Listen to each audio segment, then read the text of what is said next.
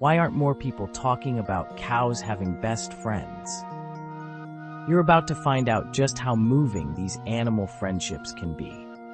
Alright, two cows chilling in a meadow, munching on some grass, just living their best lives. Turns out, cows form close friendships just like we do. They actually have best friends, and when they're with their cow pals, their stress levels drop. How cool is that? Cows are social animals, and they get really attached to their buddies. In fact, if you separate a cow from its BFF, it gets totally stressed out.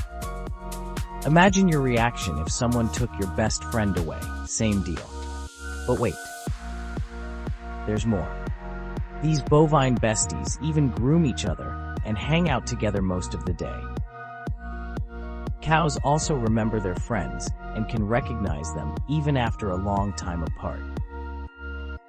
It's like a never-ending reunion. So next time you drive past a field of cows, give a little wave. You never know, you might be witnessing a cow friendship in action.